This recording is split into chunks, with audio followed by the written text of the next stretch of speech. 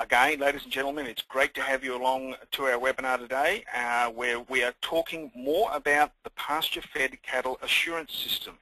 So now I'll call upon Jon Condon from Beef Central to introduce the uh, topic more and our speakers for today. So Jon, it's over to you.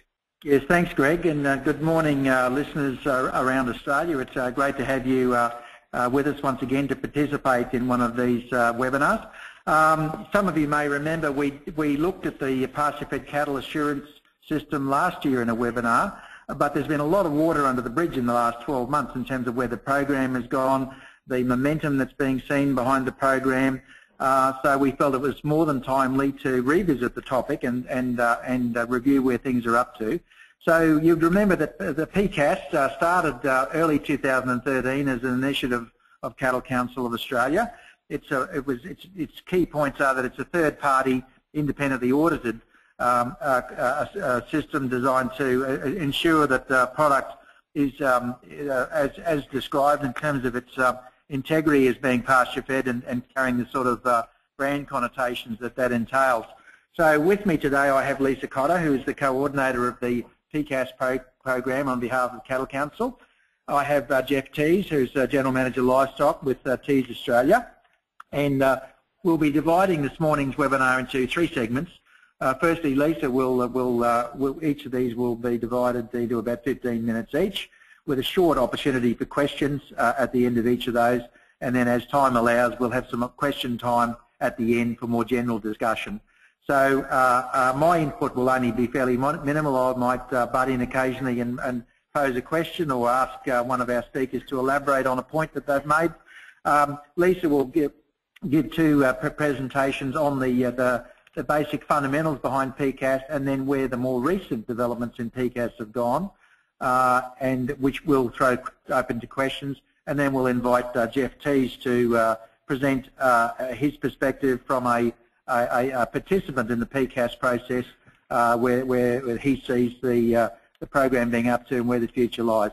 So without further ado, I'll, I'll move across and ask Lisa to give, her, give us her opening presentation. Thank you very much, Jon, and thanks a lot to um, Future Beef and Beef Central for coordinating this, and of course to um, Geoff for joining us for today's discussion. Um, for all those producers that have listened to the um, beginning of what is PCAS before, I apologise, but we'd just like to go back over about what um, PCAS, Pasture Fed Cattle Assurance um, System, stands for, and and why we've developed um, this program. So PCAS is an on-farm animal raising um, claim standard and it underpins the market integrity of three um, fundamental functions. That is naturally raised claims, grass-fed cattle and never ever for the optional modules under the HGP and no antibiotic segments. So it was identified um, many years ago through a AgForce um, council meeting that there was a rising um, interest in the grass-fed beef product and with new technologies that were coming available through MSA, the ability to ensure great eating quality from a grass-fed product for a consumer um, was a market that we'd like to tap into. Also indications were coming from um, our relationships with processors and retail segments that there is particularly a growing demand in the US and that any program that was implemented in Australia had to have a strong alignment with the US standards for our export opportunities. Um, Geoff, I'm not sure if you'd like to talk about the independence and the importance of certification to a um, labelling claim. Yeah, th thank you, Lisa. And, and look, you know, the first time that um, AgForce came to see us about it, we jumped straight on board, and that was probably four years ago. Um, we, when they came along to see us about it, we were very excited about it. It took a long time to get the certification up, um, which was very frustrating to us. But I can assure you that we are delighted with the certification now. Um, it's the only certification, third-party certi certified, grass-fed only product on the market. We see a lot of other people trying to imitate it, but it is the only product out on the marketplace that is 100% grass-fed and it is certified by third-party auditors. So we're delighted with it and it has a lot of integrity out in the marketplace and will gain momentum out in the marketplace. Thanks, Geoff. Um, so as Geoff indicated, you know, we've been, as Cattle Council, engaging with a lot of um, different parts of the supply chain to make sure that the standards um, met the needs of the market and the customer as well as the producers. Um, and it is completely aligned with the international requirements, particularly with the US and their three um, on-farm animal raising claims of naturally raised, grass-fed and never ever that we believe um, presents a great opportunity for Australian producers in the export market as well as domestically with which Teys can demonstrate through their product and relationship they've developed with Woolworths. So there are four different modules to um, PCAS.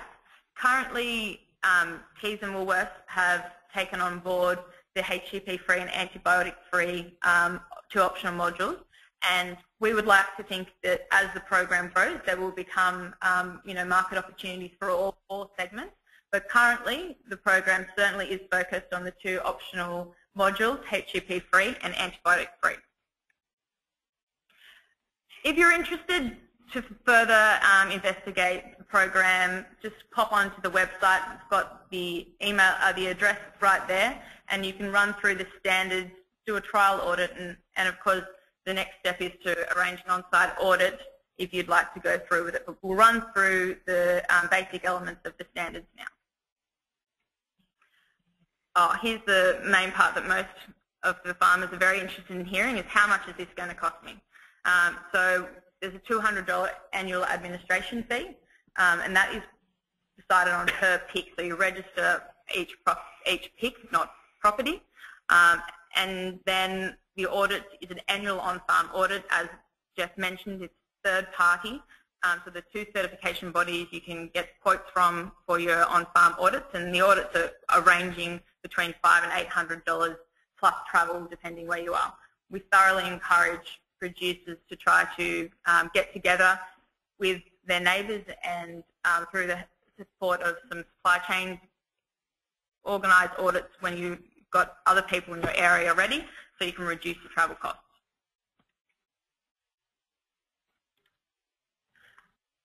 So element one is all about identification and lifetime traceability. PCAS is a never ever animal raising claim so it's not just about being grass finished, it's being grass fed for their entire life. The key um, outcome for this is that the on-farm systems have been implemented to ensure that cattle are individually identified and that they are fully traceable throughout their entire lives. To prove this to an auditor, it's really important that you have some sort of written statement about how you identify eligible and ineligible animals on your property.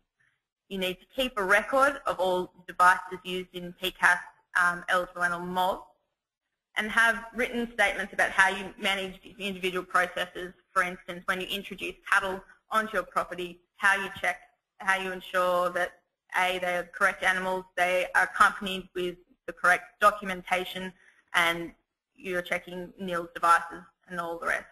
So you really need to make sure before you have an on-farm audit that you've thought about all the things the auditor is going to ask and you have statements written down for each of the instances of uh, items that might occur. All PCAS cattle must be accompanied with a PCAS vendor declaration um, and of course all other accompanying um, ones. Greg, do we have any questions around um, identification and lifetime traceability? Uh, well, I'm unsure whether they're actually about the lifetime traceability, but we do have some questions, Lisa. Um, the first one is that um, I have a lease block as well as our owned property. Do we have to do we have to have an audit for both picks, even though they are running under exactly the same conditions? That's a really great question and, and one I get quite a lot. Um, yes, they have to be included in the audit. Um, so if you have a lease block and your own block and you are running PCAS cattle on both of them, any property or any pick that you are going to be running PCAS animals on needs to be included in your annual audit. Because the auditor needs to be able to go out and, and have a look at the facilities um, just as they would on your own block as, as well on your lease block to make sure that what you're saying in um, your paper and your processes is matching up with what they're seeing on the farm. Mm -hmm. Okay, thank you very much. Um, the time frame for applying for PCAS till approval. So is that in when you register online and pay yeah. your administration fee to getting an audit, so being able to sell oh. through to Jeffrey? Um, I'd say so, yep. yes. So it really, it, it depends quite a lot. Um, obviously registering online, you can do that in 10 minutes. Um, and then you've got to contact the certification body and see when they will be able to have an auditor on site to do your audit.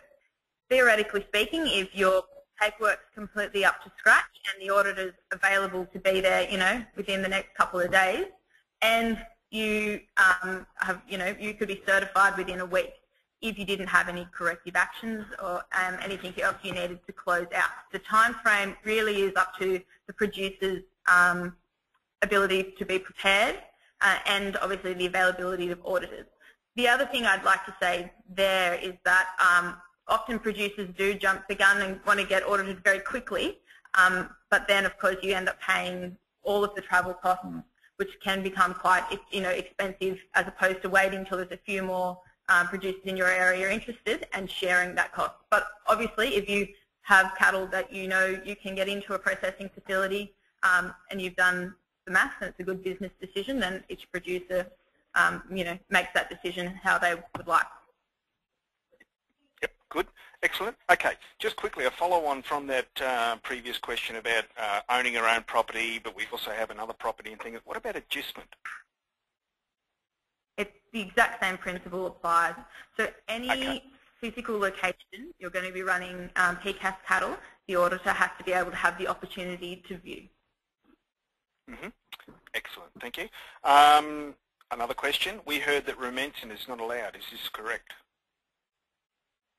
That is correct. Okay, good. Uh, nice and short and sweet. That's wonderful. Uh, where does PCAS sit with respect to EU and MSA accreditation?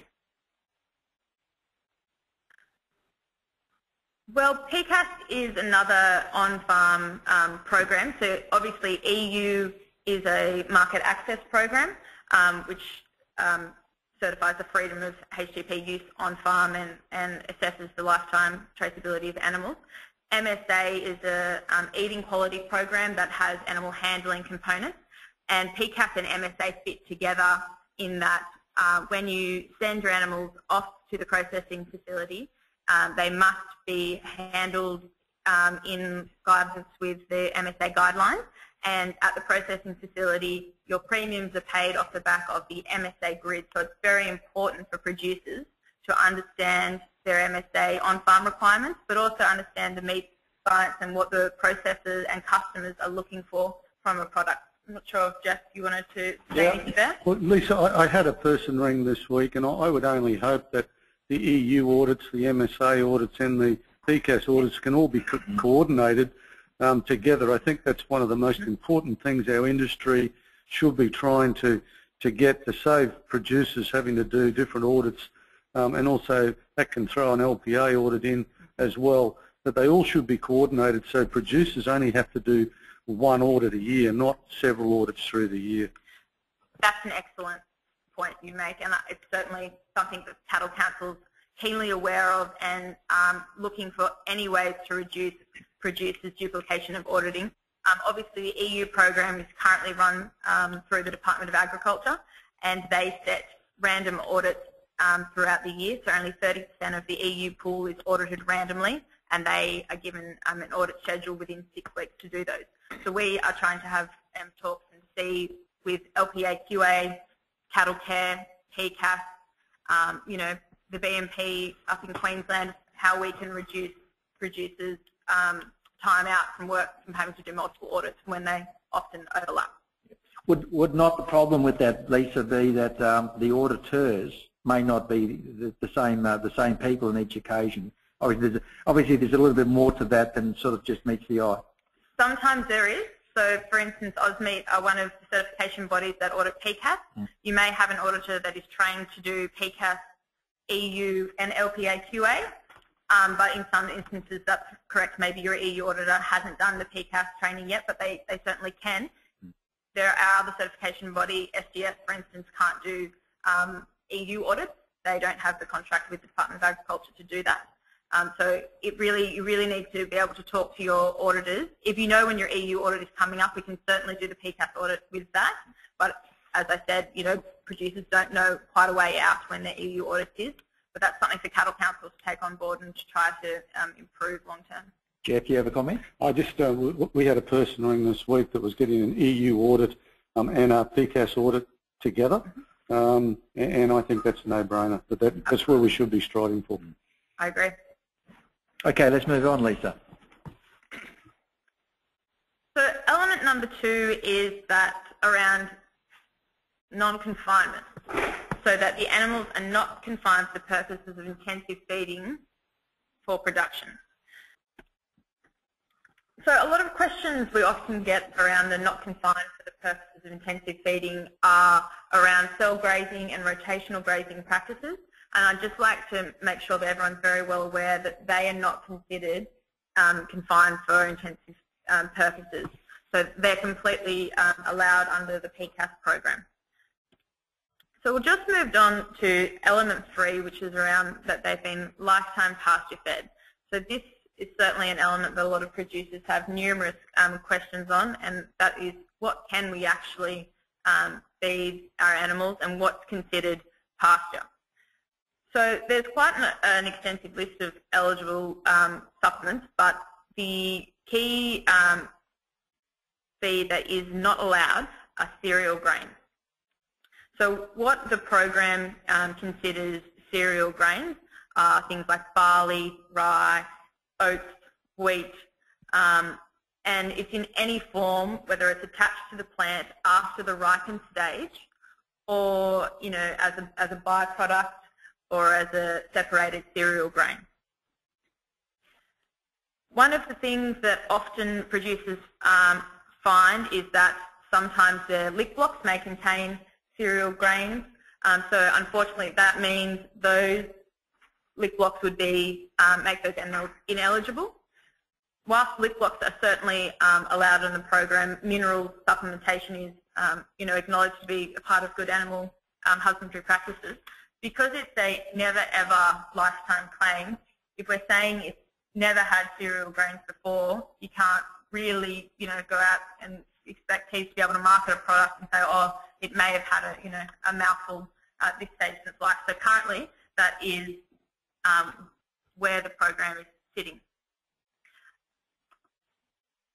When cattle are grazing um, cereal grain forage crops, they can graze them up until the flowering stage, just before the milky dough stage. So that is called on the growth, flowering growth chart, um, code decimal up to 60, 69.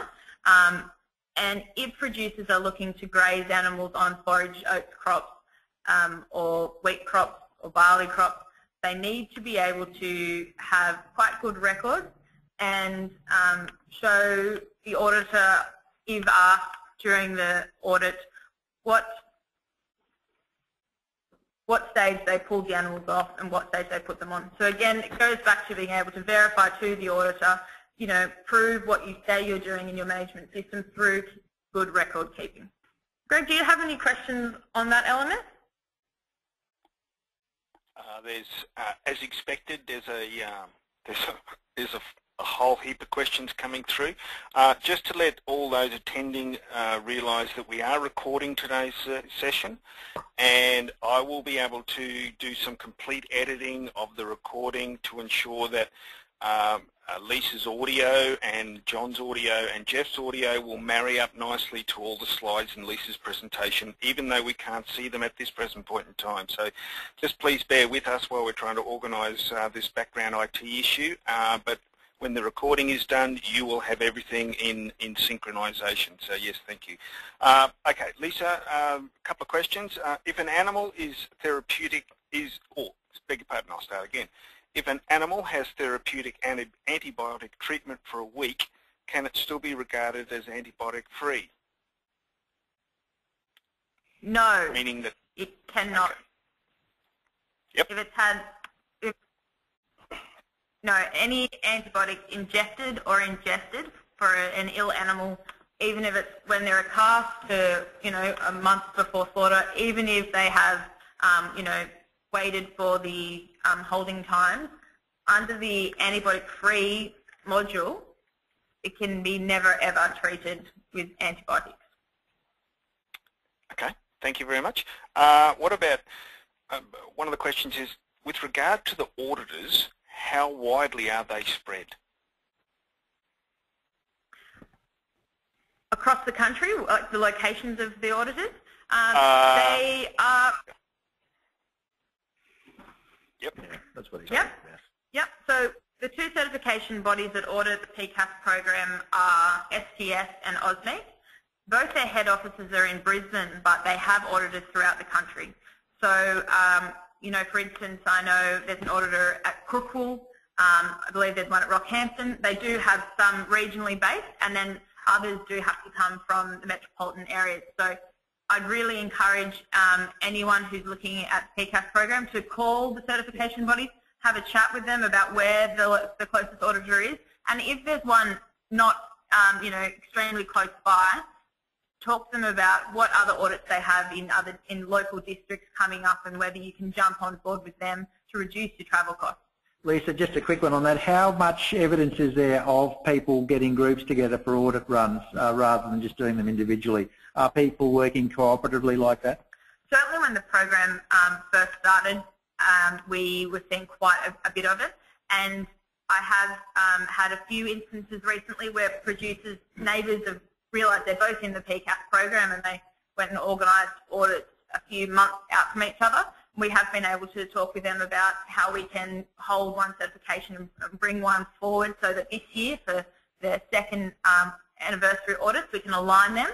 Um, so there isn't as much of it as we'd like because as um, a caller called asked earlier, um, often producers want to get audited quite quickly once they've decided they've got cattle that they want to sell within a certain time period. Um, but we have been seeing quite a bit um, of that and we'd like to see more. And if we at PCAS admin can support that in any way, we're always helpful to, but the certification bodies are really, really good about um, ensuring they get as many audits in when they're going out regionally as, as well. Okay. Just, very much with this non-confinement, uh, what we are looking for is a free to roam um, on the on the um, on the certification. So our customers have asked us um, that we can get a free to roam um, on, and um, we are. But we, if, if, we do something, we want to make sure that that's what it is. If we say it's free to roam, um, it's a no-brainer. That's what it is. But we do want that module um, put on the PCAS standards. I'm, I'm, going to jump forward and just ask Geoff a question about the um, uh, the, the, the product that's now coming through the P, the PCAS uh, supply chain. Uh, I've, I've personally seen it in Woolworths stores. Um, uh, in, um, in in Brisbane, and, uh, and it is going into outlets all right across Australia. I mean, I've seen uh, eye fillets at up to $48 a kilo, um, so it appears to be positioned somewhere between um, between uh, a certified organic and Woolworths conventional offer. But Geoff, obviously only a, a small proportion of the of the PCAS carcass is in fact going into the Woolworths um, program that's uh, recently been launched and which we've covered earlier on Beef Central. Can you give us some indication what's happening to the rest of that PCAS carcass? Jon, um, when we first started it, um, and, and we have Woolworths now coming on board taking um, you know, certain cuts out of it, um, the rest of the product's being marketed around the world, in the, in the markets around the world, um, in all different forms, into cuts, into trim. Um, but I must say that the feedback we're getting from the domestic product has been outstanding. Some of the people that have tried it have been raving about it, congratulating us on a free to roam, um, natural, wholesome product. Um, ticks a lot of boxes for people um, in the market, but we certainly are developing this market around the world and especially in the USA. Um, a lot of products starting to head that way because, as I keep saying, it's the only natural grass-fed product certified by third-party order on the market. Yep. So it is going very well. It's starting to tick a lot of the boxes between, um, you know, organics and that. It ticks a lot of people's boxes around the place. Yep. Do you think at this point is the, is, is the PCAS uh, uh, um, attraction coming from people who previously bought organic beef, or is it coming from people who bought conventional, who are trading up? Where is the strength coming from in terms of the where the purchasing decisions are coming from? I, I think it's a bit of both, um, Jon. I think it's um, as people have um, better disposable incomes, they're looking for a better product out in the marketplace, and to feel good about what they're buying and what they're eating. I think it's a it's a consumer thing that's happening all around the world as disposable incomes become greater and people want protein and higher quality protein. Um, it's a question of people wanting to um, look after the environment, want the animals looked after their whole of life, um, and are prepared to pay that little bit more money for it. But the thing is, it's underpinned by MSA, and it's always a very, very good eating quality. Yep. Um, I think what we might do, perhaps uh, while we're trying to get this IT problem sorted out, Lisa, we might just continue with your presentation, and if we can catch up with the slides, we'll uh, we'll continue to do that. But let's just move on with, with Lisa's presentation, I think. Thanks, Jon. Great. Do you have, we have any other questions around the, the lifetime pasture-fed claims? Um, okay. Well, there, there's plenty of questions, but I think what we might do is just keep on going. Sure. Geoff, did you want to make a comment before we move on? I was just saying we're starting to see quite a lot of um, good oats cattle start to come through the system now, so people shouldn't be afraid of cereal crops, of feeding cereal crops. Um, we're starting to see quite a lot of very nice oats cattle starting to come through the system now, um, and they'll continue to come through as long as the, the, the crop doesn't get to that um, grain stage. Um, um, so we are, um, and they're grading quite well, the, the oats cattle at present. And I think that's a, a really good point too, is that, you know, if it looks like a producer can recognise that um, the crop is about to turn to that next level, what some producers have been doing, I know around home, have just been putting more cattle on there to stop it from going ahead. Mm. So there are other ways of managing it, and that's right. Some producers have been doing it quite well and haven't found it as onerous um, as it first it first seems. Mm. It's a good point. So the, the next um, element is underpins underpins PCAS's eating quality. So um, as a lot of producers are already aware, you need to be um, registered for MSA, which is as easy as going online and um, getting that organised. And when you're sending animals off to um, the processing facility, they need to be accompanied with your MSA vendor deck, your PCAS vendor deck, LPA vendor deck, and have been handled consistently with the MSA on-farm um, handling requirements. Could I just um, make a comment on that, Lisa, that um, one of the things that we are doing because of the um, overseas markets are starting to move with this product now, we are, for our October price, uh, we'll be coming out with a 410 for PCAS, but we'll be paying a 10 cent premium for everything else that people send us that are PCAS registered because we not only want the steers, we'd like their cows, um, all bar bulls, we won't be taking bulls, but we'll be taking um, all their other cattle that fall outside the MSA range, we'll be paying a 10 cent premium for them from October onwards. So it's a bit of a way of rewarding people for um, their efforts as well. That's a great news story, yep. Geoff. Yep. And that's another, brings me to another good point in that often producers ask whether we should just get our young animals certified or we, if you can, and you have the records for their lifetime, if you can get your whole mob certified, this is the exact reason why that's a good idea because um, the grid, you know, is going to be opening up, and as the US market expands, hopefully that will continue to grow. Yeah, we, we packed our first um, PCAS cows um, last week yeah. um, in the system, and um, we're readily looking for manufacturing type meats going forward. So um, it's a good way of rewarding producers for being in the system. Excellent. Um, that brings us to our next optional module, um, which is the lifetime free from HGPs. Um, I guess this is pretty self-explanatory, but if there are any questions, Greg, we can certainly um, take one about HGP and PCAS. Okay. Uh, not maybe specifically, Lisa, to the HGPs, but there are plenty of questions and I'm sure I'll try my best to get through them all but unfortunately I don't think I'm going to be able to get through each and every one of them. But uh, we do have questions in relation to what about hay what about hay fed cattle during yard weaning or drought time? Yep. No, hay is an acceptable um, supplementary feed as long as that the hay doesn't contain cereal heads that are in a ripened state. So when purchasing hay or you know speaking with your agronomist, you really need to be confident that you're um, purchasing in feed products that do not contain any banned substances, i.e. ripened cereal grains. So again, it's before 4 code 69. Okay. Greg, I just, um, I just had a thought. Uh, what we're going to do, the questions that we don't have time for to address in today's uh, presentation, Lisa and I are going to work through those. We'll publish those with a response on Beef Central in a, in a report tomorrow. So if anybody has posted a question that doesn't get answered, we will provide an answer via the uh, online medium through Beef Central.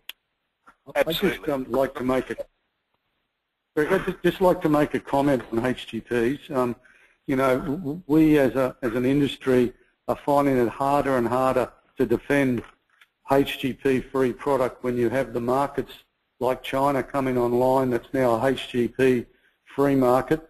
Um, Russia with the trenbolone and the acetone uh, problem, um, we are finding it more and more difficult to defend HGPs. I have an opinion that, you know, we have synthetics and natural um, hormones together as a HGP, um, and it's becoming very, very much increasingly hard to defend trenbolone and acetone um, in, in, that, in our market chain. And there's more and more, we have quite a large percentage of our domestic market HGP free. Uh, we have the Muslim world talking about um, a HGP free product out there. China, um, certainly if Russia comes back online, it's going to be a HGP free market. So, you know, I think that our module with, uh, with PCAS being HGP free, I, I don't see any other module competing with a HGP used product coming through. But um, we're certainly um, finding it more and more difficult in defending um, the HGP free in the marketplace. Just on that, uh, Lisa, uh, to my knowledge, none of the uh, of the PCAS supply chains that currently are in existence uh, have not used the HGP-free component, right? Correct. Have, and the, the antibiotic-free and HGP yep, combination yep. is really where they're, they're all looking at. Yeah. Correct. Okay, let's move on. Um, well, that leads us into the next uh, element, so lifetime free of antibiotics. So similar to the question asked previously, it's not about withholding periods, it's about lifetime, never ever have been treated with antibiotics so that means by injection or ingestion. So possibly the only um, exception to that rule would be a topical pink eye antibiotic treatment. Um, that would be allowable under the program. But other than that, it's lifetime free. So it's really important that producers have a system in place to, um, in the event that they need to treat a sick animal, that they can identify that animal and keep records of the treatments and the individual animals that were used.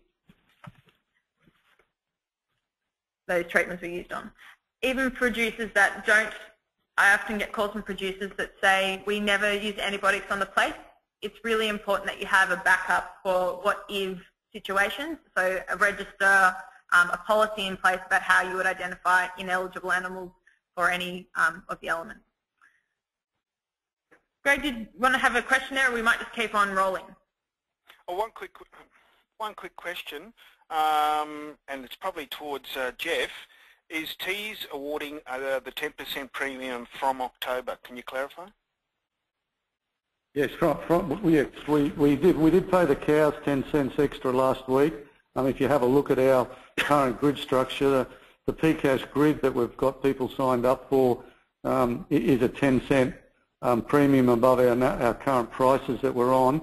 Um, what we are a little bit mindful, we do think this market is going to move considerably um, as we get along, and I do not want any people disadvantaged, and they won't be disadvantaged that are in the PCAS system. If the market moves, we'll move, but we've decided with October just to, to come out with a 410 price for PCAS graded cattle, and the rest of the cattle will be priced at the August price, at the October price plus 10 cents um, for the PCAS cattle, so people don't get caught booking cattle now and the market rising, because I do believe the market is going to to rise um, quite substantially later part of the year. It's probably worth just pointing out at this juncture too that, um, to my knowledge, this uh, the, the, the notion of forward pricing on grass-fed cattle is is probably unprecedented in in, in Australian uh, uh, the cattle markets. So you know this is this in itself does represent a you know a unique development that we haven't previously previously seen in the cattle industry. Yeah, you're right, Jon. Um, absolutely, and we're more than happy to go out and forward price this product. But as I said, on a we believe the market's going to rise. I don't want to catch anyone. It's not designed to do that. It's designed to reward people for being in the system and supporting the system and supporting our customers. Okay. Let's move on, Lisa. We've still got a bit of ground to cover.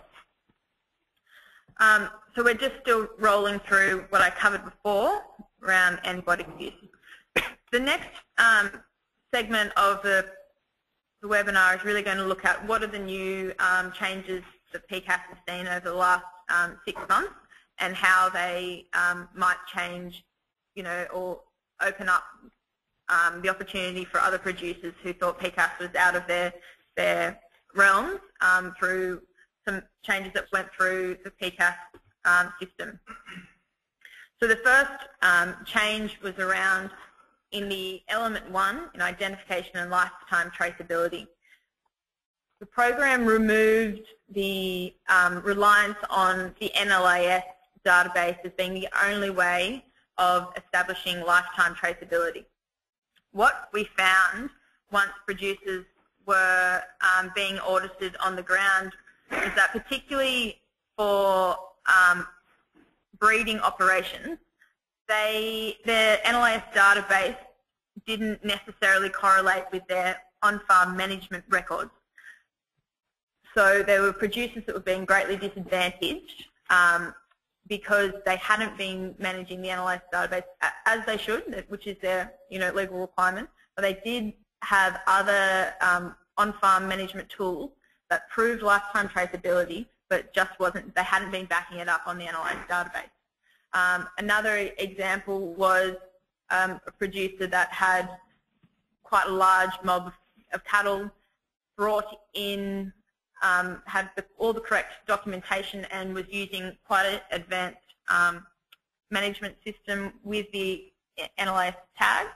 Um, however, you know, 10 had lost their tags whilst they were out and because the producer couldn't pick up the individual um, NLIS tag that had dropped out of that individual animal and record that number down against the replacement tag they had put in, those animals had effectively lost lifetime traceability on the NLIS database, even though the producers had other documentation, other management records that could support the animal's um, identity. So whilst the NLIS database still is the preferred way of achieving lifetime traceability, and um, I know the processing um, plants certainly would be preferable for everyone to be doing that, and we encourage that. There were some um, opportunities where producers weren't managing their database that were leading to them their whole program being knocked out when it wasn't really um, fair in a lot of instances. The next one was around the requirement for NLIS devices to be fitted at the time of weaning. When, again, um, you know, more audits had occurred, some producers who were breeding-only operations didn't insert their NLIS devices till the time they leave the property, which is the legal requirement of the NLIS. Um, so they were being um, excluded from the program because they didn't insert their tags then for retention reasons and, and other management reasons.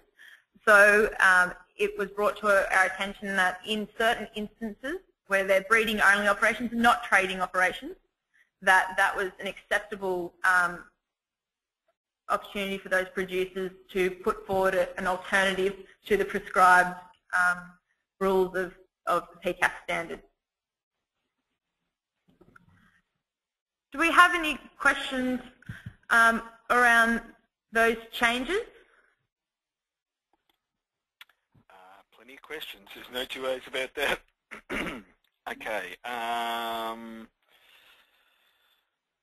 ooh, where do you start? Okay. Um, I've got a question here from a cattle trader.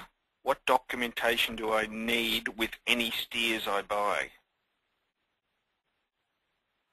So if you are a certified, um, PCAS certified property, you can only be bringing, buying in certified animals that have spent their entire lives on a certified pasture-fed property, or you can be buying in weaners that have been accompanied by a non-certified supplier declaration that declares that they have been raised in accordance with the standards. Weaners, as defined under the um, PCAS standards is an animal that's under 10 months of age and that has been weaned for the purpose of its first sale. So even if an animal is under 10 months of age, it has to come from the vendor bred property. It can't have changed multiple hands. And you need to get the um, accompanying documentation signed by the um, producer who's responsible for the animal husbandry of those animals within 30 days of purchasing those stocks. The only exception to that rule is when you become first certified. So if perhaps you purchased a mob of weaners in last year and you still have contact with the vendor and you can call them and ensure that they um, were raised consistent with the standards and the vendor is happy to sign retrospectively the non-certified supplier declaration, then um, you can bring those animals into the system in your initial certification after your initial certification, it has to be brought with the consignment of the cattle. Okay. And uh, one quick question. That declaration Sorry. available on the website to download. Okay, one quick question before we move on, and this is a double uh, double question, one for you, one for a couple for Geoff. Uh, for Geoffrey, uh, where are the current markets, and are there any grids available? And for Lisa, uh, are there signs available for gates for accredited PCAS producers? Yeah, um, there's certainly, uh, Greg, we do have um, grids out there. Um, we're on 430 um, for the grid for August and 420 for the grid for September. And um, as I said, the grid for, and their proper grid with it, with, with everything on it. Um, but for October, it'll just be a 410 PCAS price with a plus 10 cents on the current grid in October um, for producers. So we're more than happy to supply grids to PCAS producers. Um, book them up or just give us booking space and they can ride the market more than comfortable with that. But it, we are sort of, we have August booked, we have September going very well for bookings. Um, we just want to make sure, and we have taken extra cattle in July, last couple of weeks in, in I'm sorry, in June. We took, uh, we've taken some extra cattle because, and we didn't want them, but we paid for them because producers have gone to the trouble to get accredited um, and, and, to give them an opportunity. But um, we're more than happy to, to go out. July is booked um, solid. In fact, we've got some overbookings in July, um, but uh, we're still, and August is just about booked too. We're looking for September and October now. And in relation to PCAS signage, um, we don't have any signs um, made up, but I can certainly make the um, artwork, the logos available to producers who would like to get signage made up for, for their gates. Okay, wonderful. Okay, if we can continue, that'd be wonderful. The next major area of the standards that has changed um, of recent times is element six around lifetime free from antibiotics after a review of the USDA standards, there had been a change around the last sentence of the outcome. So the use of anthelmintics for the treatment of parasites is allowable under the program. Now that had been quite a um, area of concern for a lot of producers and the reason it has been clarified is that because some, for instance, ivermectin contains low level um, sulfonamides and ionophores and they were being excluded under the program because of the ambiguity there. So this change um, has been obviously greatly received by a lot of producers, um, particularly in the south. The other thing I'd like to um, point out is that vaccinations are completely acceptable and they have always been, um, but that's certainly a misconception. PCAS is not an organic program. It is a naturally raised, grass-fed, no antibiotics um, program, which is quite um, different to anything else that is out there on the market. Lisa, what sort of products can you know, are we looking at here? So any sort of drench or injection that is for like ivermectin, Dectomax, the use, the use, the control of internal parasites yep. is allowable under the program. And then five in one, you know, vaccines, they're all um, allowable under the program as well. Any questions on that element?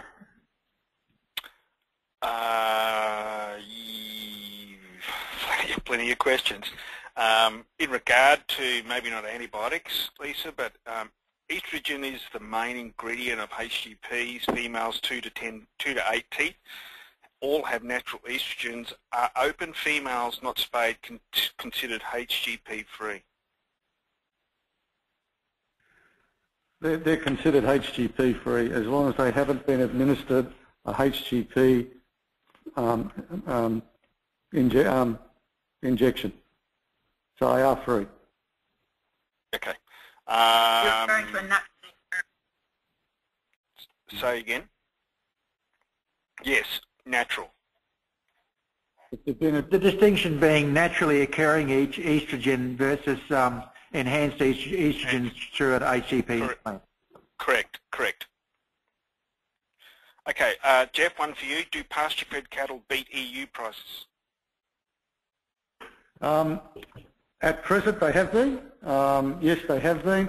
We have, interesting, probably, we believe, our database at present, probably 65% of our cattle are EU accredited people that are PCAS registered. Um, and we are, they have been getting, enjoying large premiums with PCAS um, in the last uh, little while.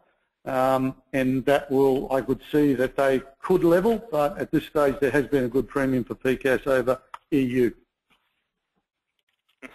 Uh, quickly, uh, what about, you know, uh, loose licks with copper-based, uh, those sorts of things? Copper is, a, is, is allowed under the program, so any sort of loose lick that contains a cereal grain would be banned or any sort of ionophore or rumensin but if it's a loose lick that is made up of um, mineral supplementation and is on a base of um, an approved supplement, which is available in the standards, the full list, and copper is certainly one of those, um, would be completely allowable under the program. What about leucaena and palm kernel?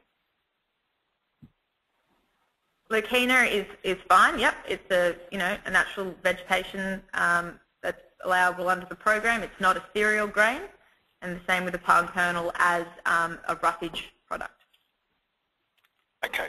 Uh, can you explain the criteria for purchased cattle eligibility for PCAS? Um, yes. So if a producer is purchasing cattle um, from outside their homebred mob, they need to come from a certified pasture-fed property and be accompanied with a certified pasture-fed de vendor declaration.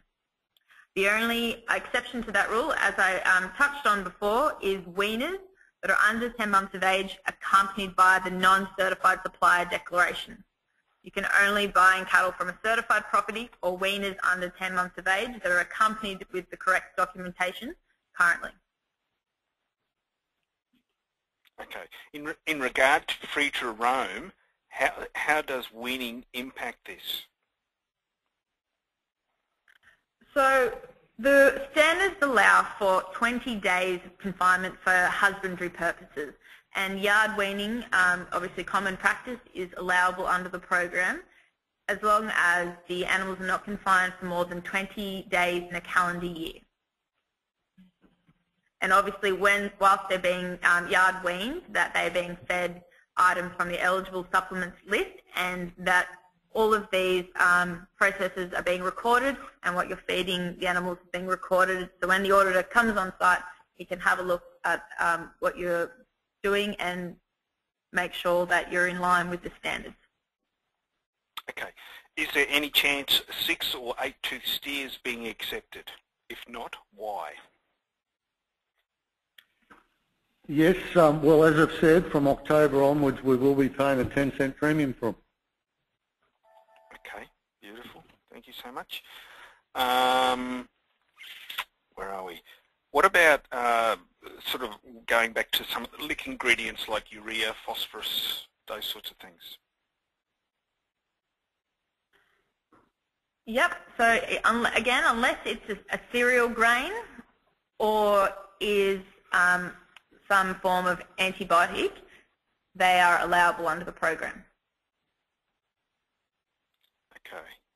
Greg, can I just go back to clarify on that six to eight tooth question, uh, the one previous. We should point yes. out, of course, that um, one of PCAS's um, fundamental um, uh, entry points is the MSA program. So um, uh, you know, people need to keep in mind that while Geoff does plan to offer a premium on those uh, cows and what have you going forward, that um, cattle still need to be eligible for MSA to, to qualify under the full PCAS program.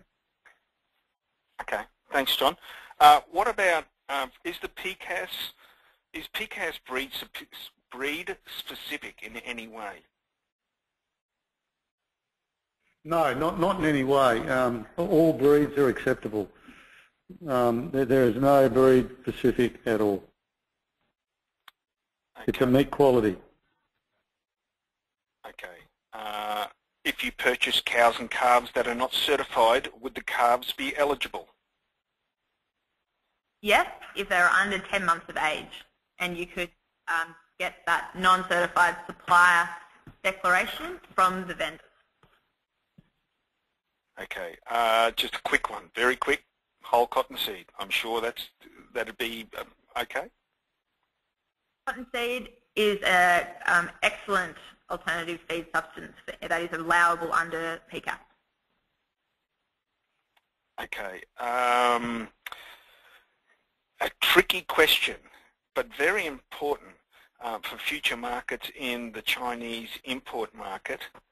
Um, with regard to uh, getting an answer for the Chinese tests and finding any readings for estrogen, uh, is it a natural oil or a synthetic estrogen?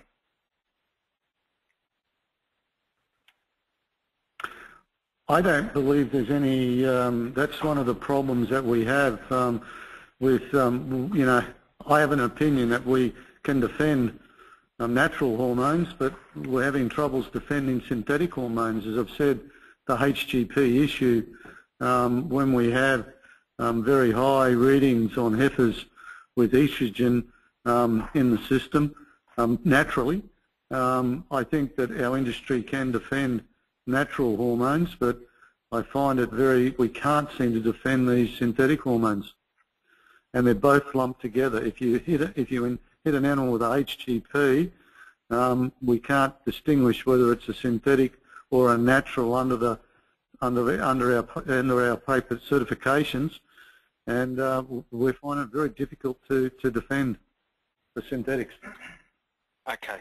Um, Greg, I think, I think we, just looking at the time, Greg, we are pushing up against yeah. our one-hour window, so we should, we should try to wind up. I'm going to just ask um, okay. uh, Geoff and Lisa just to provide some a couple of brief concluding remarks, and then I think we might uh, might wind it up. So, that's, Geoff, that's is there anything else you'd just like to add before we finish up? Well, yes, thanks, Jon. I'd just like to sort of thank all the people um, that have got behind us with PCAS. Um, it has been a journey. I really do, do, believe that we have to distinguish our product. Um, if people, we, we, are very mindful at Teys Australia that people have been through a very, very tough patch with prices of cattle. Um, we do believe that, that one of our biggest concern is that our valuable customers out, out there um, you know, haven't been getting enough money for their product. These sort of programs, you know, are going to help the returns for people out there. The more um, of these special markets that we can get out there and market our meat around the world, we naturally have the, the cleanest, greenest product, natural product out there in the world, and we should be putting certification around it and, and extracting big premiums in the marketplace around the world for it. And that's what this is about, and has been about it from day one. We have to start somewhere. We're moving along. We have some great partners um, that have come along the journey with us, um, both in the cattle producers and also our customers that are taking the product, and we're building on it brick by brick, and we continue to build on it. So I thank the people that um, have been with us um, and the people that are coming on. I'm getting a lot of inquiries about it um, especially the HGP issue. Um, if people, you know, are going that way, they should be going EU and PCAS, um, and got two markets that are the best markets we've got out there in the marketplace. So um, I, I, just hope that people realise how easy it is um, to, to, get on board and to extract the premium, and hopefully it grows the way we see it's going to grow. I'm sure it is. Okay, thanks, uh, Lisa. Have some closing remarks. Look, just like to thank the organisers for today. It's been a wonderful experience, and particularly to Geoff and the Teys team for coming on board with Cattle Council um, and supporting the certified program and supporting a certification that's returning um, premiums to producers in a time where there hasn't been a, a lot of that. So you know, we would love to see more people come on board and if there's anything we can do with PCAS to help support producers to become audit ready, please contact us. We'd love to help. Um, and just go on the website, read through the standards and see if it suits your programs and, and contact your local buyers to see, you know, how it's going to fit with your operation. Thanks, Lisa. Well, that draws this to a close. I'd just like to point out that um, the uh, uh, this webinar process is working very well. I mean, despite the little uh, the glitch we did have halfway through today's program, we've had uh, about 350 uh, subscribers participate in today's um, webinar. And if you add that on top of the 600 plus subscribers that we got uh, when we did this webinar a year ago, there's now been over 1,000 producers Australia-wide who've now um, participated in this process, uh, scrutinising the, the, the PCAS opportunity via, via the web so I think that's a great success, and thank you to all involved. Uh, to you, Greg, thank you for coordinating this for us and bringing it all together, and um, and uh, we wish you all, all all well. Thank you very much. Okay, thanks, Jon. Uh, thanks to you, Geoff and Lisa, um, for making yourself available and uh, giving us an insight. pardon me, into the uh, PCAS um, system.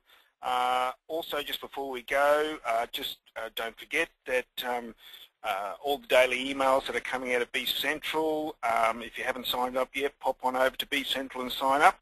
Also, don't forget to go to the Future Beef website for all your information um, for the beef industry across Northern Australia. And in due course, the recording of this webinar will be up onto the um, media area of that website. Uh, we will also be sending out a follow-up email with the link to the recording along with a quick survey because we always like to uh, get your feedback. Um, so, uh, folks, uh, that's all for today. Uh, I'd again like to thank all the speakers for coming along and giving us their time and insights. And a big thank you to everyone for attending and coming along and interacting with us today. So uh, all the best, and until we connect again, it's hooroo for now.